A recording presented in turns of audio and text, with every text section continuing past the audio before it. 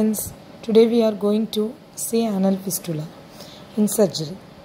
Anal fistula is a chronic abnormal communication between epithelialized surface of the anal canal and perianal skin. It's commonly occur with a history of anal abscess. Anal fistula originate from the glands which is located between internal and external anal sphincter and drain into the anal canal and if the outlet of these glands become blocked an abscess can form which is eventually to the skin surface okay? And we have to go into study what are the types of uh, anal fistula? There are five types of anal fistula. First one is extrasphincteric and second one is suprasphincteric and third one is transsphincteric and fourth one is intrasphincteric and fifth one is submucosal and we are going to what are the signs and symptoms of anal fistula? There are uh, mainly skin maceration. Pus serous fluid is coming out of the skin.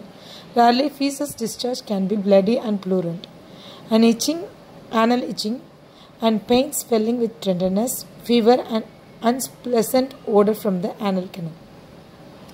And how to diagnose for the fistula?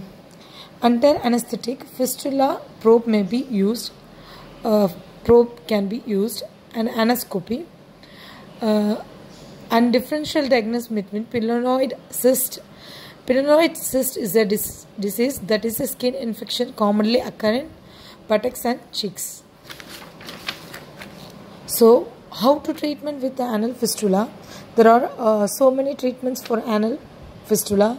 It depends on internal and external anal sphincters uh, first one is lay open of the fistula in ano and second is cutting stent seton and seton stitch fistulostomy till anal rectal ring and colostomy fibrin glue infection, infection fistula plug endorectal advance, advance, advancement flap lift technique and fistula clip closer. Perfect procedure. If the infection is reoccurrence uh, anal fistula with treatment with antibiotics. Thank you, friends.